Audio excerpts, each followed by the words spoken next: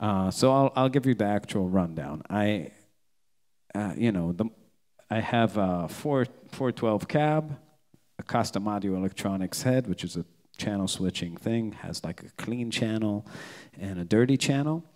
And then I have a G2 unit. If you guys don't know about those, that's my latest purchase. I, I definitely didn't grow up having one. I just got one this year, and it's a game changer. Uh, it's made by a company called The Gig Rig, and it does all your switching for you. And the idea is that when you have tons of pedals, you have to run cable from pedal to pedal to pedal. And the reason your tone sounds artificial by the time it gets to the amp is mainly the cable. And uh, this, uh, there are a few pedals on the market that do it, but nothing quite as intelligent as this guy. And uh, it lets you hook up 10 pedals kind of in parallel, and then you select your routing through it, but it also handles all the channel switching for the amp and you know, whenever you have like MIDI operated pedals, like digital pedals, it does all the, you know, program switches. Uh, and it's not a huge pain in the ass to program, which was my fear because I, I hate that shit. I really do. It's, uh, you know, I need it to be very easy and it's really idiot proof. Um, so yeah, so I mean, I guess I'm, I use about eight sounds. Uh, one, I'll just run through them for you.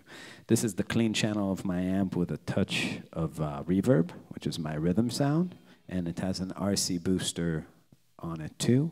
And I use that for like all the funk chords and for all the comping, right? That's that's I guess my basic clean sound.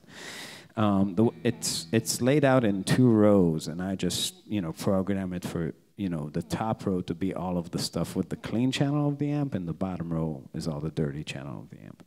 So, and then uh, yeah, the next sound that I have is something I use only in a few songs, which is kind of a wacky effect.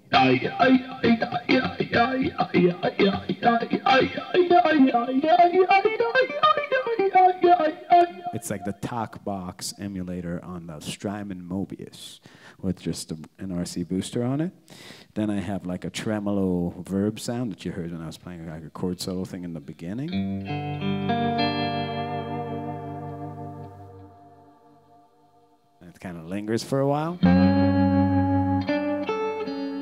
So that's like the Jeff Becky kind of thing. Um, after that, what do I have? An organ kind of sound, which is also like the Mobius.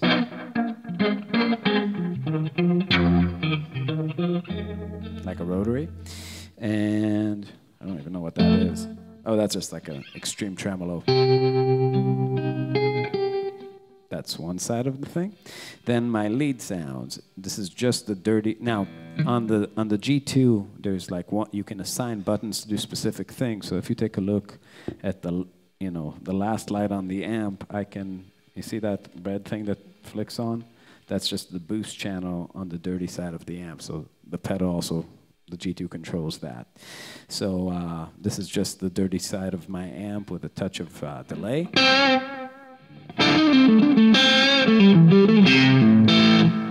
RC Booster on it is the second program. Whoop.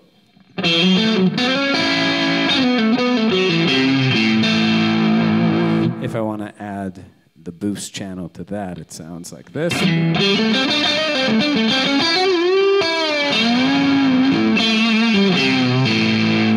And that's and now my main lead sound is the, the Xotic Soul Driven on that, which is this guy.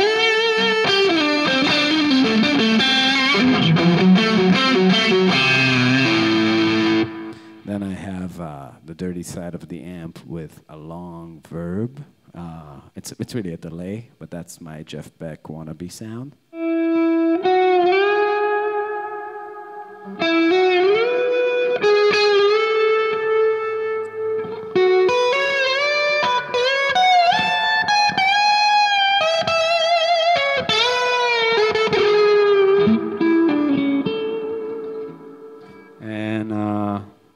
Past that, what do I have? One fuzz.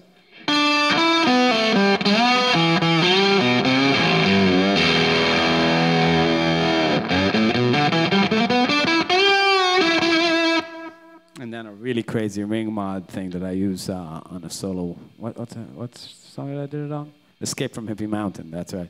Uh, on our Goatman CD. Yeah, and that sounds like this.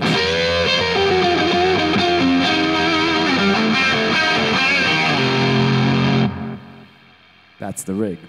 So long explanation, but that's all the sounds I use like ever. Actually, much more than the sounds I would use on a gig. I, I only use a few.